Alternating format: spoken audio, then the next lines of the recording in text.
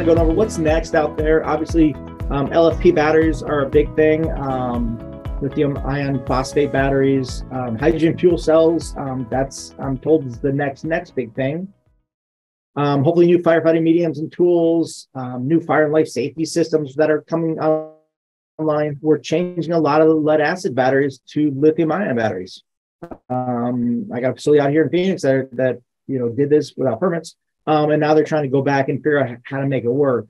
But um, but also we're also seeing a lot more facilities instead of go through lithium ions, they're going to lead acid again. Um, especially they just needed to to get that gap between when they lose power and then when the generators kick on. Um, a lot of times lead acid can actually, you know, be really beneficial to them and it's not as stringent code wise.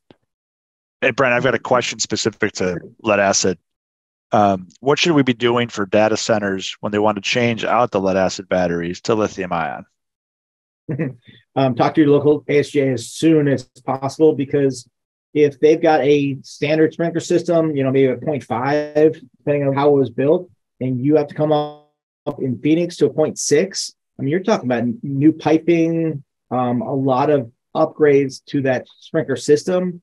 Um, so the earlier that we can have discussion, because maybe that's not the best plan, or maybe instead of switching it out inside the building, then we put it outside and you know put it in non-occupiable cabinets. Once again, the sooner you can come talk to me or come talk to that local AHJ is the better because, like I said, I have one that did this exact same thing and um, they just didn't know any better and wish they would have got better advice from whoever installed it. Now we're trying to figure out how to make it work because their sprinkler system is very old and does not cannot meet 0.6 the way it's installed. So we have to basically redo the entire system, which is very, very costly. Uh, other thing that I'm seeing a lot of generators go from diesel to, to batteries, to lithium ion batteries, because um, now we get rid of the diesel and a lot of environmental and a lot of federal government regulations. Battery fire pumps. We're starting to see a lot of those start coming online. Parking garages, can they support the weight of the, of the electric vehicles? The um, parking garage failure in uh, New York City, um, that's one of the questions is did they have you know electric vehicles? Because electric vehicles probably twice the weight of a normal um, car. So did that add to that collapse of that parking structure? I don't know.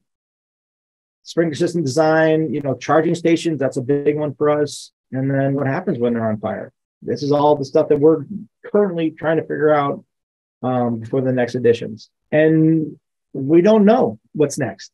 Um, let's start that conversation on all the new technologies. Um, we need to try to be as transparent as possible. I understand, you know, proprietary and, and, and that kind of stuff. But open conversations, creating partnerships, that's what this is all about. Um, we should be looking at this as, you know, as a, as a team, you know, trying to come up with solutions to be able to be successful and get these things installed and have the fire department, have the city, have the public, have a sense of, of comfort, understanding that they we've gone through all of the different um, boxes and checked them all off and we've done as much as we can to make them as safe as possible. And we can't do that unless we work together.